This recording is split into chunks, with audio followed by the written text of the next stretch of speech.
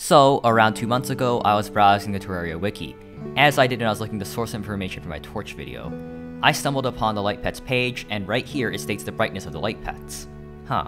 Surprisingly, there aren't actually that many light pets in the game, and their brightness values all range from 65% to 120%. But what does 100% actually mean? The percentage is meaningless if we don't know after all.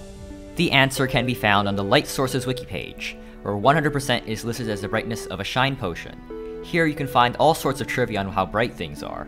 For example, did you know that Plantera's bulbs are 2.5 times brighter than a teleporter? Or that glowing mushrooms are brighter than Krypton moss? Or that even jungle spores are brighter than lava? Either way though, the light pets are right here. Based on brightness, the light pets are basically split into three tiers.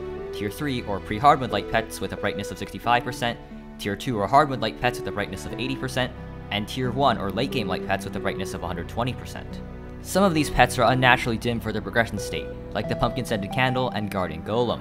Both of these are Master Mode exclusive pets from the post-Plantera stage, and yet their brightness is equal to that of the early Hardmode Fairy pet. But there are clearly other reasons to use certain pets over others, even if they're the same brightness.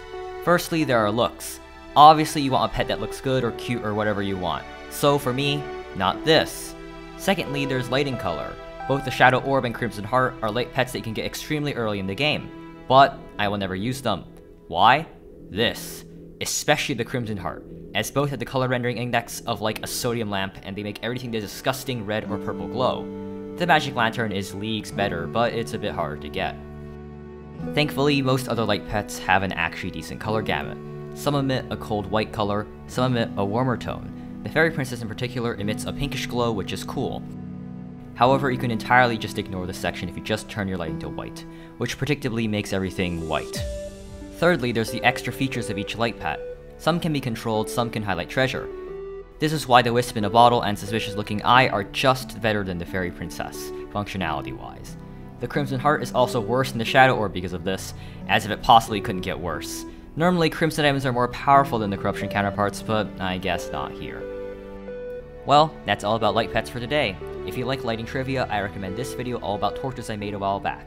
Of course, I recommend subscribing if you enjoy my content. Thank you for watching, and best of luck to you all.